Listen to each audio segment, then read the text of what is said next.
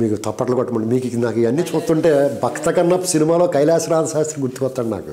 అతను పొద్దున్నే వచ్చి రాత్రే నేను కైలాసానికి వెళ్ళి వచ్చాను శివుడు ఏమన్నాడంటే మీరందరూ ఇలా చేయాలి. ప్రతి ఒక్కరు కూడా బుట్టడు మామిడి పళ్ళు అట్టు రావాలి నాకు.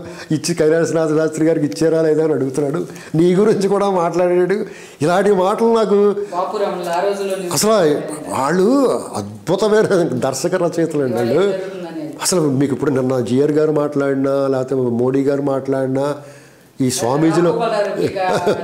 నాకు అది నా కైలాసనాథ శాస్త్రి గారు భక్ మీకు ఎవరన్నా భక్త కన్నప్ప సినిమా చూడండి. కైలాస కైలాసనాథ శాస్త్రి గారిని చూస్తే ఇప్పుడు వీళ్ళు ఆడుతున్న డ్రామాలు అన్నట్లకి సమాధానం అందులో ఉంది అసలు ఆయన రావు గోపాలరావు గారు వణుకుతున్న గొంతుతోటి అద్భుత మార్ మార్ధవంగా చెప్తూ ఉంటాడు.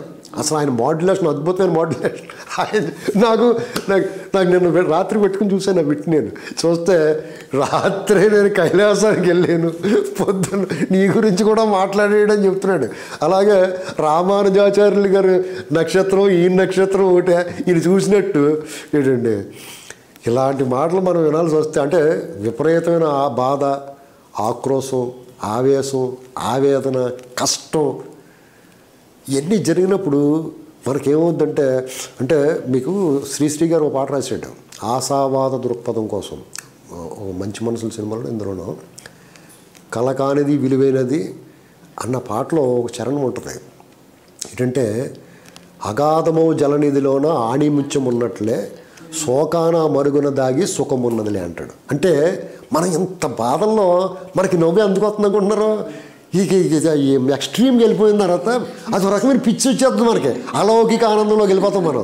అంటే ఈ బాధ ఇది ఇది కూడా ఒక సెడి ఒక డ్రగ్ లాంటిది అనమాట సెడిటివ్. మనం ఇప్పుడు మతం మత్తు లేకపోతే ఇంకో మత్తు అధికారం మత్తు కులం మత్తు ప్రాంతం మత్తు అన్నీ జల్లేసిందని ఈ వీళ్ళందరికీ ఈ మత్తు ఈ డ్రగ్స్ ఎక్కేసేసి జనాలకి వాళ్ళు ఆ పిచ్చిలోంచి ఎరినోళ్ళు నవ్వుకుంటూ ఉంటాం అన్నమాట. డాక్టర్ సుధాకర్ లాగా. డాక్టర్ సుధాకర్ గారు ఆయన నిజంగా ఆయన కూడా విప్లవకారుడు అండి పాపం ఆయన మనం డాక్టర్ సుధాకర్ గారికి జరిగిన అన్యాయం ఈ దేశం ప్రస్తుత పరిస్థితికి అర్థం పట్టిందండి. మీకు దీంట్లో కూడా ఒక సినిమా ఉంది. మీరు ఇప్పుడు మీరు అంటున్నారు చూడు కవులు. దేశోద్ధారకుల సినిమాలో పద్మనాభం గారికి ఒక పాట ఉంది. నన్ను పిచ్చోళ్ళ ఇది ఇదేంట్రా పాపం అని అడిగితే నన్ను పిచ్చోళ్ళు అంటున్నారు నాయాళ్ళు అని చెప్పి అంటాడు? ఆకలేసి అన్నం అడిగితే పిచ్చోళ్ళు అన్నారు నాయాళ్ళు అని అన్నాడండి. అసలు ఆ కడుపు మండి న్యాయం అడిగితే నన్ను పిచ్చోళ్ళు అన్నారు న్యాయం అన్నాడు. అది ఎంత అర్థవంతమైన పాట అండి. ఇవాళ పరిస్థితులకి ఒక ముప్పై నలభై ఏళ్ళ క్రితం వాళ్ళు చెప్పేశారు మనకి. ఈ భవిష్యత్తు ఎలా ఉంటుంది? రేపొద్దు మీ పరిస్థితి ఎలా ఉంటుందని. మీకు ఆ సినిమాల్లో కూడా నిజంగా ఆ రచయితలో గొప్ప నమస్కారం అండి బాబు వాళ్ళకి.